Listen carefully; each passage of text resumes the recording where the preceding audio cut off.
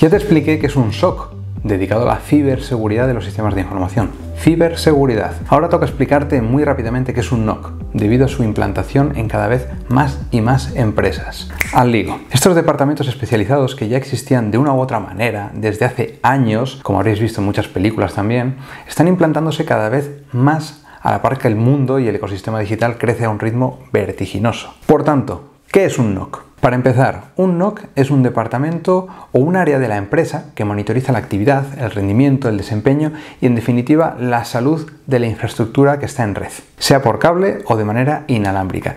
Y en el caso de que haya alertas u ocurran eventos inesperados, incidencias y demás, desde este departamento reaccionan de la manera más ágil y rápida para proporcionar cuanto antes una solución. Los técnicos especialistas en este área o departamento en el NOC deben velar y cuidar de que la infraestructura de red mantenga un alto nivel de productividad y disponibilidad. Es decir, tienen que velar porque el negocio continúe y el negocio continúa en función de cómo de bien o mal están estas infraestructuras. Por aclararlo cuanto antes y que no lleve error, el SOC con S se encarga de la ciberseguridad de las infraestructuras TI y el NOC se encarga de la supervisión y mantenimiento de las infraestructuras interconexionadas a través de la red. Repito, supervisión y mantenimiento el NOC. Aprovecho para decirte que si quieres acceder a más vídeos como este y estar al tanto de los que vaya sacando, Suscríbete y dale sin falta a la campanita que hay a su derecha. ¿Qué conlleva esta supervisión y mantenimiento? ¿Cuáles son los objetivos del NOC? Instalación, efectivamente, instalación del hardware y del software y aplicaciones. Monitorización de alertas y rendimiento de las infraestructuras.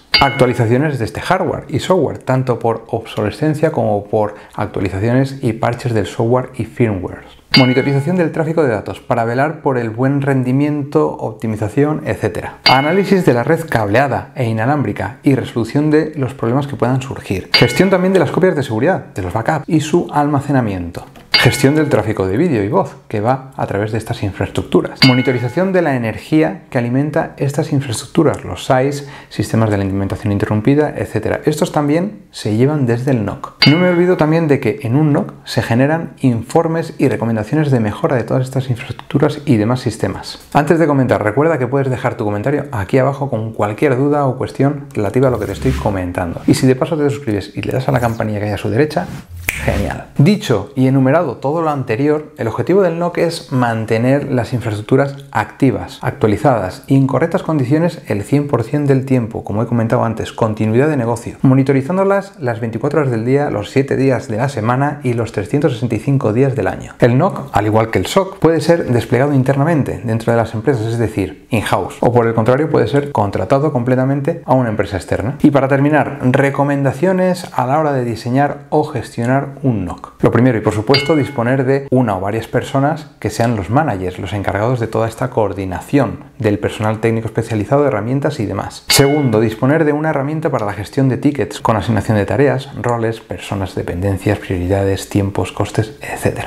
Tercero, desprendiéndose del punto anterior, disponer de una correcta matriz de roles y responsabilidades de cara a una designación correcta y apropiada, así como de los niveles necesarios para unas y otras labores. Cuarto, y sin lugar a dudas, documentar todo debidamente, así como confeccionar los informes correspondientes. Quinta recomendación, realizar una correcta gestión de las incidencias, traceándolas debidamente, solventándolas inmediatamente, cuanto antes, llegando a la raíz de los errores, fallos, incidentes, etc. Y sexto, establecer para anterior procesos, protocolos y políticas de monitorización y actuación. No son todas las recomendaciones posibles, pero sí las que yo destaco. Y llegados a este punto, si has disfrutado y aprendido con este vídeo, suscríbete y dale sin falta a la campanilla que hay a su derecha para formar parte de esta gran comunidad y estar al día de nuevos conceptos y conocimientos. Y si te ha gustado todo este contenido, pues dale bien fuerte al like hasta que se ponga azul. Y hasta aquí el vídeo de hoy. Un saludo y hasta el próximo.